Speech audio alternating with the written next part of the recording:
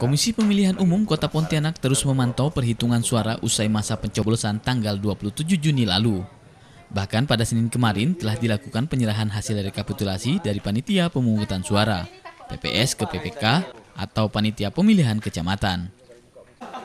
Menurut komisioner, rapat pleno terbuka tingkat kecamatan dijadwalkan selesai pada tanggal 4 Juli hari ini.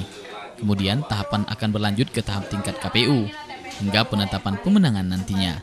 Hasil perhitungan juga akan disiarkan langsung melalui info resmi KPU ke masyarakat. Mulai dari tanggal 28 Juni ini hingga tanggal 4 Juli itu di tingkat eh, panitia pemilihan kecamatan sedang melakukan rapat eh, pleno terbuka rekapitulasi hasil penghitungan suara di tingkat TPS. Nah, ini semua dilakukan hingga tanggal 4 Juli yang kemudian nanti setelah tanggal 4 Juli itu akan disampaikan kepada KPU Kota. Kemudian KPU Kota juga akan melakukan rekapitulasi dan sekaligus penetapan uh, pemenang pemilihan wali kota wali kota Pontianak.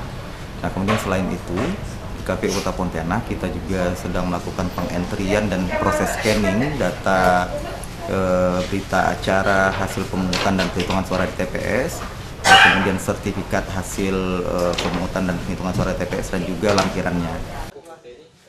Hingga kini KPU Kota Pontianak telah memasukkan 100% data untuk pemilihan gubernur Kalimantan Barat, baik melalui entry pindai atau scan, lengkap dengan sertifikat dan lampiran.